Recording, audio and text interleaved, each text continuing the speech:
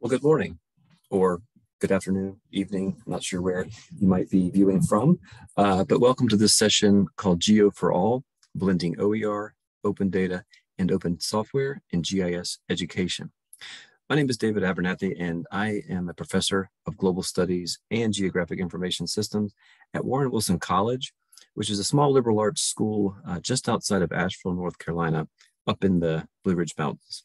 And today I just wanted to talk a bit about my experience, uh, an ongoing experience in transitioning an introduction, uh, introductory GIS course from what I would consider predominantly closed course to one that's increasingly becoming open. And I'll talk about uh, steps I've taken along the way and next steps as we look towards continuing becoming more open in the future. So uh, I'm going to frame this in just two main uh, bullet points here. First of all, talk a bit about why did we transition from proprietary software to almost exclusively open source software in our GIS courses at Warren Wilson College. That was our first step really in moving from closed to open. And then second, how can we then in turn leverage some additional layers of openness, open educational resources, open data, and open pedagogy to further the educational mission of both our institution as well as the goals of the Geo for All initiative.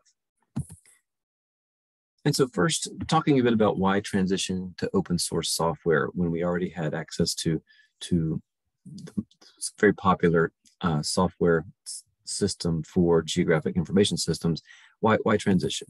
And I came up with this catchy acronym to, encapsulate uh, why we did that. Uh, this was also the sound that our IT department made when, when I asked to um, if we could set up a full Linux lab, um, totally open source from top to bottom, and they they let out a bit of a squeal. They said we're a small department.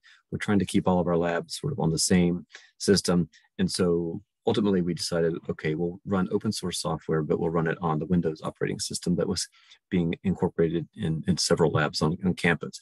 But in addition to that, these E's, I think, um, talk a bit about the reasons why we felt like we, we wanted to make this transition. The first of first of those is expense. This is probably the low hanging fruit these days in higher education when institutions are looking to, to save money.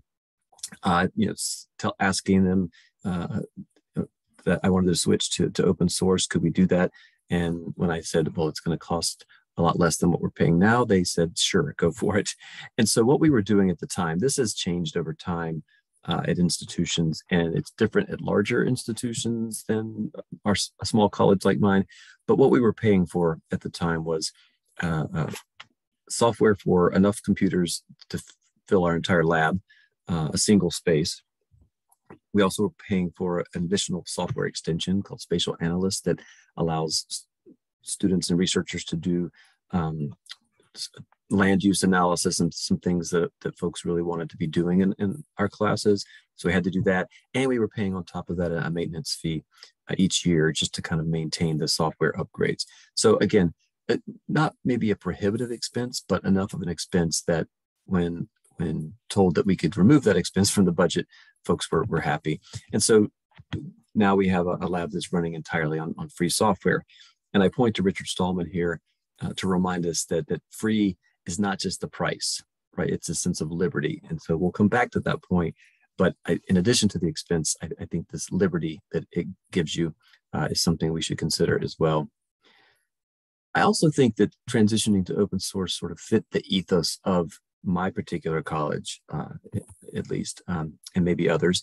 It, eh, we, we are, like I said, a small college in the mountains. We tend to have, we have a work program. We're one of eight work colleges in the country. So all students work in addition to going to school.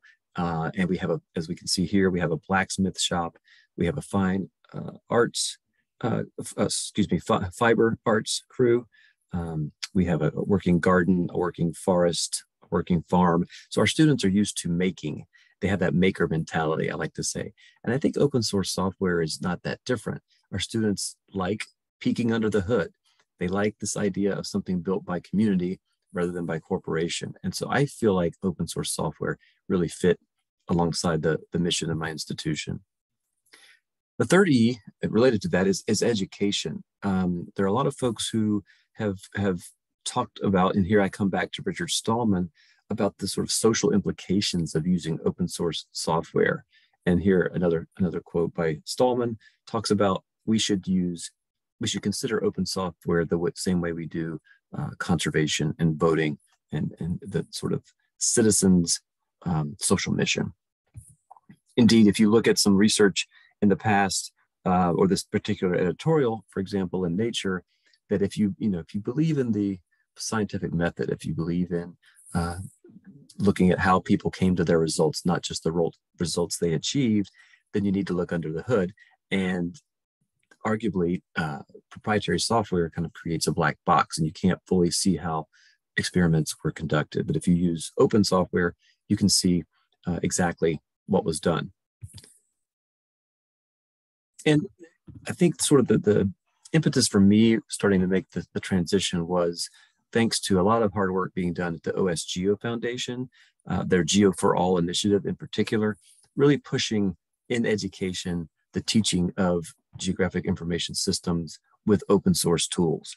And that really got me to think about th- th- making this transition. And I thought I'm gonna I'm gonna go for it here. Also, ease of use. Some of you have likely used open source software. If you go back a couple of decades, it was a little more difficult to use. It was harder to get up and running. And so the free was often countered by, well, yeah, the, it was free in cost, but it's eating up all of my time. That has a cost too. Increasingly, that's not been the case. Now, this is a bit of a dated screenshot. The, the software we use has matured past this, but this particular point in time, it, it, you can see this sort of image on the right, uh, raster analysis using actually um, not QGIS, which is the software I'm using here, but software called GRASS. And as we begin to see these incorporated uh, together, I could I could increasingly access tools from other software programs all within this one interface. And that to me was from a teaching perspective in an introductory class, that was a game changer. I could do sophisticated and robust analyses, but not have to teach four different software programs. So it became increasingly easy for uh, everyone uh, to use. Another E here and uh, is expanding beyond classroom walls. And this is one that actually had more of an impact than I anticipated in that before we had to have the, the software on desktop computers in a single lab. We were not allowed to hand out disks and say, hey, load this on your laptop, or hey, let's put let's put a couple computers in the library and let's run it over there. Couldn't do that.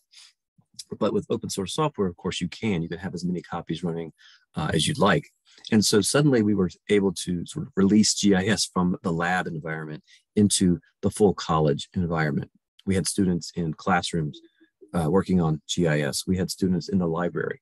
I had a student uh, catch me in the cafeteria with a map on his screen that, that he was working on and had questions. And I thought this is great. And it's also great because students can work at 2 a.m. in their dorm rooms, which is when they seem to prefer to do their homework. Uh, and so it really expanded our abilities to, to use the software as we saw fit. Another E is extensibility. And a thing I like about the tools that we tend to use in our classes is that you can always find an add-on or if you have the skills, you can build an add-on. You don't have to rely on the software that comes out of the box, right? Um, and so if you look at QGIS, for example, there are things called plugins, which you can go download. If there's something that you're really trying to do and you can't find a way to do it using the core software, there might be a tool out there that allows you to do it. Or again, if you have the skill set, you can even make your own. We also use the R statistical programming language. And in R, there are packages, kind of the same general idea that you can grab a package, download it for your specific task. I tried to fit the packages that start with the prefix geo on the screen and I couldn't do it, right? There's, there's, these aren't all maybe geographic in nature, um, but there are many, many packages in for the R statistical programming language that allow you to do sophisticated uh, GIS as well. So you can find the packages that, that meet your needs. And then I guess in all the, the final E and maybe the, the most important, important one would be employment, right? That we can find ways to give uh, students skills, meaningful skills for meaningful careers. And some folks were saying, well, that's why you should teach the proprietary software because that's probably what these people are going to encounter in the working world. And my counter to that was to say, as long as we teach the fundamental concepts and vocabulary, I think students can move from one platform to another. That's my goal is to not train you to be platform specific, but to have the ability to move across multiple platforms. And indeed, one of our students went to work for the city of Asheville. Uh, and, and one of the, the folks there, Scott Barnwell, told me that we actually seek out people who have open source experience because we found that they tend to be um, more nimble. They're almost like GIS ninjas, they would say, because they can kind of figure out how to solve problems, not worry about which buttons to push in the in the software. So that's kind of why we transitioned to open source. And that's been oh, over probably 10, 12 years ago that we did that. And so I found that students really seemed to enjoy it. I felt like the learning objectives were not diminished. And if, if anything, I felt like we maybe enhanced student learning by tr transitioning to open source. Um, and so it got me thinking, um, you know, how, how else can we sort of move down this road of open? Because I started feeling a little sort of guilty um, or hypocritical because here I was espousing the, the benefits of open source software and then turning around and asking students to buy an expensive textbook. And if you, it, this was something that um, I'm sure many people at this conference, if not everyone knows, is that textbook expense is not an insignificant issue. And the price of textbooks has not abated and it has become really a, a, an equity issue for many students. Uh, the, the cost of textbooks alone can be detrimental to student learning. In addition to the price, I was looking at the different books I tried over the course of several years and students told me, um, well, first of all, it's expensive, but some people, this was, this was their words, this was a student evaluation. This is, it's too handholdy. It's, it's kind of like a, a recipe book. It tells me what to point and what to click, but it doesn't teach me to, it doesn't ask me to think, right? And so that obviously is, is not ideal. And so I then shifted, changed books to one that didn't talk about software at all, really. It just talked about sort of the underlying um, science, uh, of geographic information science. And then the students balked and said, well, wait a minute, this is almost too theoretical. I like to have some kind of uh, hands-on um, coverage in this this book. I, am not getting what I need still. So I couldn't find a, a book that met that sort of bridged that gap um, correctly for me. Not to mention that that software changes, tools change, and therefore the the book model is a little too slow to keep up with uh, the, the software and, and the tools that are that are being uh, updated and, and created each year. And also, again, a single book sometimes covered certain things I wanted to teach really well. Sometimes it covered things in a manner I thought was a little too difficult, perhaps, or maybe it didn't even touch on a topic that I found for my classes was was super important. So all of these reasons, I felt like, okay, I, I have to look beyond the textbook. This is not not working. Several students just told me outright, I'm not buying it. I'll, I'll, I'll photocopy my friend's book or something to that, to that effect. So problematic to say the least. And so that's when I turned to looking at open educational resources. Um, again, the, the, the, folks in this uh, conference know these definitions all too well, I suspect, but to me, it's really sort of extending that philosophy of open source and applying it to uh, open, ed open educational resources. So the texts, the, the tutorials, the any materials that we wanted to use to learn, I began turning to open educational resources. And, and about that same time, I started to see that initiative uh, appear at, at, multiple places in, in higher ed, one of which was NC Live, Library Consortium. Um, they had an open education project, and they actually uh, enticed faculty to make a switch to an open uh, educational resource uh, in, in, in, a course, and they gave you some guidance on how to go about that. And so that's when I learned about the many repositories out there. Um, I won't list them here, but there uh, one example would be an open textbook library here. Um, and this is actually a text I, I decided to, to use, um, Essentials of Geographic Information Systems. If you can see the, the very gray print down there, you might notice that the publication date was 2011. But I actually found like th this book will not be out of date because it's not it's talking about specific software. It is talking about geographic information science, the core concepts, the core vocabulary. And I thought that it did a really good job of doing that.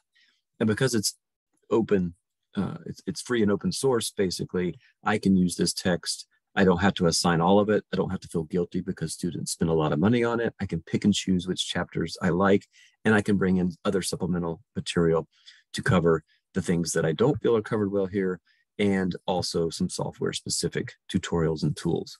So I, by moving into this open educational resource, I think it really opened up our access to all kinds of, of teaching and learning materials that otherwise um, we would not have been able to, to use.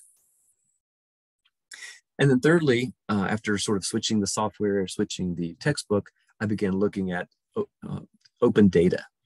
And uh, again, open data, uh, as, as I'm sure again you know, uh, data that can be freely used, shared, and built on by anyone and again adopting the principles of open source software and so what that meant for me is that i was able to turn to tutorials or data sets um, that for, for free on the internet that i could then incorporate into class. And that was important because uh, some people i think are afraid of not having a textbook that has a shiny wrapped up dvd full of data ready to go.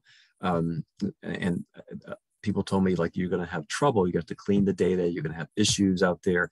All of which i think are good learning uh, uh, points of, of a course. But there are so many data sets out there that are free and open that i didn't feel the need to make my students buy an overly priced dvd full of packaged tutorial data and again about a, a decade ago we started to see this movement really take off uh, in my community in asheville uh, the city got behind open data, actually sponsored an open data day and, a, and sponsored a civic day of hacking. And so we saw this push to sort of take what had previously been either buried in PDFs or CDs um, into a, an open data portal online that we could could then use. So City of Asheville created an open data portal. Cities across the country uh, were doing this. Asheville certainly was not the first, but it's effective that you can go onto the site and easily uh, access multiple data layers uh, of all kinds for the city. At the state level, we saw the consolidation of, of many, many organizations and many, many compartmentalized GIS, op GIS operations into NC OneMap, where I can get anything from parcel data, um, I can get aerial imagery, all sorts of data increasingly available through this site. And at the national level, of course, there's data.gov so so again we're we're accessing more data than we could ever need uh, on these different portals. And students really seem to like poking around and seeing what they can find to incorporate into their projects and osgeo of course coming back to the osgeo foundation provides uh, a lot of resources um, tutorials uh, video guides things to help um, students and and um, teachers for that matter learn about the, the possibilities of, of open source software and the final step, and this is one that is certainly not complete by any stretch of the imagination, but where I'm trying to go with it is to move towards something called open pedagogy. And uh, open pedagogy, I think, means maybe different things to different people, but to me, it, it, it's a it's essentially trying to move away from the, the educational model that says, okay, we're going to put information into your head and you're going to spit it back out on a test. I'll grade it and we're done, right? So it's it's really a move away from what has been dubbed sort of the, the disposable assignment and move towards something that, that actually has real value and has value beyond just the professor teaching the class. And so, uh, and, and thirdly, sort of focusing less on the letter grade and more on true knowledge creation and helping these students um, learn the skills, the concepts, the, the theories, the ideas, and then be able to apply them to their own problems that they run across. So again, this is early days for me, but what I'm what I've done to try to move down this path is one, I have I've added a, an assignment for students that's essentially build a tutorial for the for the students who come after you. So students in my spring semester of GIS were asked to pick something that we've already had already done in class and write up a four-page tutorial um, to address I, I, gave them specifics about be sure to share the vocabulary, walk through with screenshots, uh, tell us what's the goal of using this particular set of tools and what kind of results might you expect. And so the students got into this because they knew, oh, wow, I'm actually creating something that will be used by other people next semester. It's not being thrown away. Uh, I also had students very early on in the course write a short paper on what I called sort of a critical GIS uh, assignment. So they were to go out and look for examples um, of GIS being used in the world for either good or or maybe in a way that needed to be more critically examined. So looking at things like gerrymandering or redlining uh, or, or different ways in which spatial data and software could be used to, um, again, restrict social justice or perhaps more hopefully promote social justice. So thinking again about not just the technology that we're learning in class, but how these technologies have an impact on the world around them. Uh, and I'm also having students, as much as I can possibly do, take on projects that are for not just me, but for an outside quote unquote client, right? And that might be their work crew. We've had students map storm drains or lighting fixtures for campus crews. We've had students do mapping projects for outside non-governmental organizations. But importantly, there's a set of eyeballs out there that are not my own. Uh, and it, it reminds students that there is a real world value to what they're doing. And I guess to, to wrap up, I would say that, that in terms of sort of takeaways and next steps for us, um, I feel I feel excited that we've kind of I feel a critical mass around open source software. At least we have uh, people in conservation biology, ecology, GIS, statistics courses, all using the R statistical programming language. Um, I, I, feel like we've had this sort of beyond just GIS, a move institutionally towards open source. And we have been able to springboard from that and create a new minor in data science and just got approved uh, a, a, new major uh, in data science. And so we're really trying to, to ramp up our, our uh, focus here on data science, spatial data science, but focus almost exclusively on open source and open educational resources. And I also think that the switch has helped lead um, into some st student success, whether it be graduate school uh, or whether it be career wise. We've had students trained on open source using open educational resources going into things like um, an applied math master's program or working for a data science startup or geospatial analytics PhD program or working for cities in their GIS uh, department. I, I, I feel like, again, it's, it's maybe still anecdotal at this point because we're still sort of evolving, but I feel like we've been able to have some success by moving this way. And one I'll just quickly share to wrap to wrap up. Um, NASA has a program called NASA Develop, and it's basically a 10 week internship program. And it's it's uh, uh, it's there for stu students at the undergraduate level, graduate level, I think maybe even occasionally high school, but they get to work with a senior climate scientist on a real project for a real client and they have a real deliverable. And so two of our students went to work on this particular one, which is to develop a snowmelt monitoring tool using satellite data uh, in Alaska. And our students found this to be an amazing experience. Again, they got to work with a senior climate scientist. They knew they had a deliverable out there. It was not a disposable assignment. And they were able to, to not only survive this 10 week experience, but thrive. One of our students became the team leader. And they learned, they turned back on their sort of open source uh, experiences as sort of contributing to their ability to tackle this sort of um, very uh, detailed and large scale project. And so I, again, it's early days for us, I, I would say, but in my experience, um, transitioning to open source, open educational resources, and open data, and eventually open pedagogy have made us all better teachers and learners. So thank you so much. I'll stop there um, and have a great rest of your conference.